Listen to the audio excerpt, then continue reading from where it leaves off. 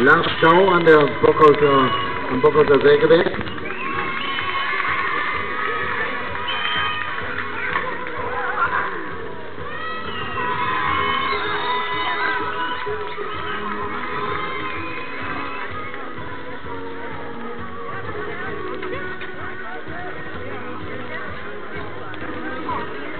Daniel Schneider am Hindernis Nummer 6, Doppelbewegung, 44,5 sechs, sieben Sekunden.